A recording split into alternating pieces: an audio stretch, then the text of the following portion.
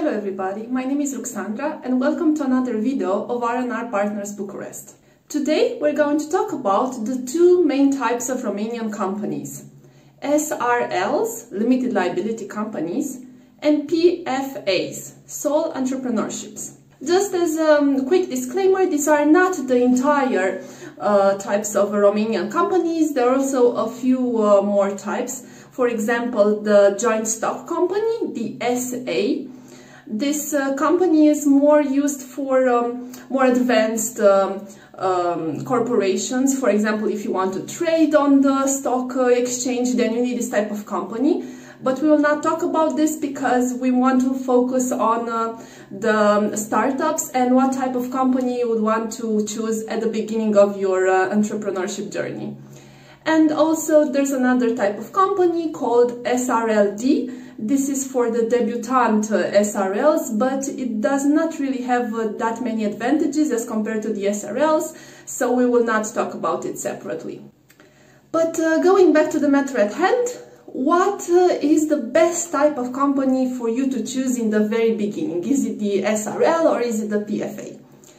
Uh, first of all, we should talk about each of them and what it represents. Um, the SRL, as we just mentioned, is a limited liability company, which means that when you open this company, uh, whatever you have as um, liability in the company is limited to the amount of money that you put in the company. For example, if I were to open an SRL tomorrow and I only have 200 lei in the company, uh, then the liability, if I have any contracts that I have to pay or if I go in any debt, then those uh, people cannot come after me, after my own money, but can only take the 200 lei that I put in the company. That is limited liability. Compared to the SRL, the PFA is an entirely different structure. Uh, when you have a PFA, this uh, type of company is about the same thing as you as a person. If you have any creditors, then the creditors can of course come after your own money. That is the main difference from the SRL. But it can also be an advantage because if you have a PFA in the very beginning and you want to access the money, you can just take it from the company without paying dividends to yourself. If you have an SRL and you want to access the money that you got uh, um, after selling goods or after delivering any products, then you must pay dividends to yourself uh, each year or each three months.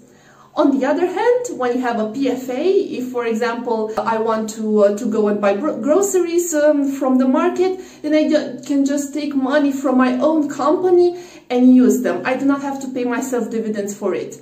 So in a nutshell, it is easier if you don't have any other sources of income to have a PFA because you can use the money immediately after you get it from your clients. But if you maybe have some money aside or you maybe have also a main job, then the SRL is a great uh, structure for you. Another very important thing is that in the SRL you can have more people in the company from the very beginning. In the PFA, as uh, we mentioned it in the beginning, it's a sole entrepreneurship. So me, Ruxandra, can only have my PFA. I can have employees if I want, there is no problem, but they cannot be associates or directors in my company. On the other hand, if I have an SRL and I want to associate with a friend or if my uh, with my spouse, I can do that and we can have shares in the company. I can have like 50% or 25% and they can have the rest which is uh, very good when you want to associate with people and maybe uh, share the burden of a company uh, startup. But after talking about uh, liability and also about uh, how many people can be involved in a company, it's time to speak about the third thing, but many times the most important one, which of these companies pays the less taxes? Here it is pretty straightforward. The SRL is by far the best way to go in terms of taxes. The SRL only pays 1% um, tax on the revenue, the total revenue in the company, if you have at least one employee, or if you have no employees, it's just you at the beginning and maybe a few friends or not, then you pay 3% on the entire company revenue. This does not take into account the, um, any expenses that you have in the company, but the entire revenue in its full. Even so, it is a very good deal. It's in Romania we have one of the best taxation systems in that regard uh, compared to Europe or even the States and other uh, in other countries.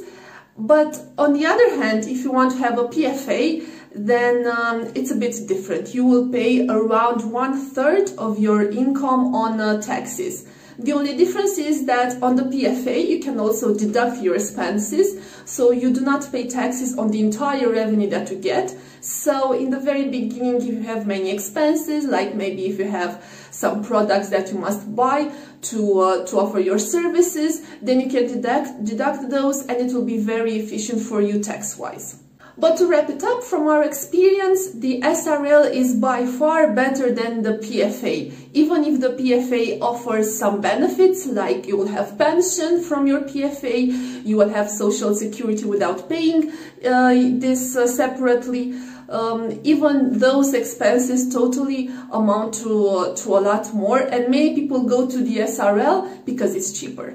And speaking of cheap, both companies are about the same price when you want to incorporate. It's not really um, less expensive or easier to have either a PFA or an SRL. Both of them are registered at the trade registry, so the same institution takes care of all types of companies. So uh, it's about the same thing uh, as in incorporation uh, taxes and expenses. One of the most um, common uh, questions that we get from clients when they want to open a company is, can I have a PFA or an SRL if I am a foreigner? And the answer is yes, you can have those types of companies. But the only problem is if you want to have a PFA and you do not have a CNP, a number registered in, uh, in the official Romanian authorities or a NIF, which is a, another type of number, a tax number. If you don't have any of those, then you cannot open a PFA. But if you want to open an SRL and maybe you don't even live in Romania, you just want to have a company here because the taxation system is so advantageous, then you can, uh, of course, open one. There is no problem. If you are a foreigner, even a non-EU citizen or an EU, it doesn't matter. And even if we are speaking about startups, a very common question we get is, which is the best type of company if I want to have an exit at some point? Maybe I don't want to have this company forever, maybe I want to sell it, or I want to get investors into my company. And here it's again very simple. The SRL, the limited liability company, is by far the best solution in your case because a PFA cannot really be transferred to another person. That type of company is very linked to you, you as sole entrepreneur, and you cannot pass the, the company to someone else. But in the SRL, as I mentioned, you have shares, you can uh, buy them, sell them, and it's very easy to uh, to sell the company if you want to uh, go in Bali at some point and live your life freely, or maybe if you want to uh, to grow and have an investor get money into your company. And speaking of uh, Bali and uh, living the best of your life, um, another very um, good thing about the PFA in regards to taxes is that in a very um, um, a specific case, if you are um, an IT guy, if you work in IT and in um, very other few cases, you can have a thing called norma de venit. This is a type of taxation that is very advantageous. Uh, irrespective of how much money you make on the company, you pay about the same uh, amount in taxes. So um, in the beginning, when you want to open a company, be sure to talk to your accountant or your lawyer and tell them what your plans are for that company because they might recommend you the PFA in uh, certain specific cases for the taxation benefits. So to wrap it up, what is the best type of company to open in the very beginning? The uh, answer really depends from person to person. As uh, we just mentioned, if you want to grow your company, you don't want it to be very linked to you, you want maybe other associates, you want to have many activities on your company, then uh, and also to, to have the least taxation possible, then the SRL is the way to go. But if you're in the beginning, you maybe never think about selling your company to, to somebody else. Maybe you are on the norma de venit, that very specific type of taxation that is uh, very good. And if you want to access your money as fast as possible and as regularly as possible, then maybe the PFA is the solution uh, for you. Just a quick advice at the end, whatever way you go, make sure that you do your research correctly because we have many cases of clients who came to us, for example, with an SRL and later found out that the PFA was very good for their position and they wanted to change or the other way around, they wanted to have from the PFA to be converted to an SRL be sure that this type of conversion is not possible. So if you begin as an SRL from the beginning, you cannot have it as a PFA later. You'll have to close your company and then open another one and it can be quite tiresome. You can lose some money and time uh, uh, in this process. So make sure that you get uh, the right advice for starting your company. This is about it for today. I hope you enjoyed our video. If you have any questions, you can leave them in the comment section below. Also make sure to um, follow us on social media. You have all the links uh, in the description of the video.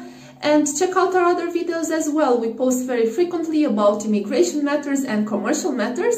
And uh, if you have any uh, more complicated questions, make sure to drop us a line um, via email. You have all the details in the description. Have an awesome day. Bye.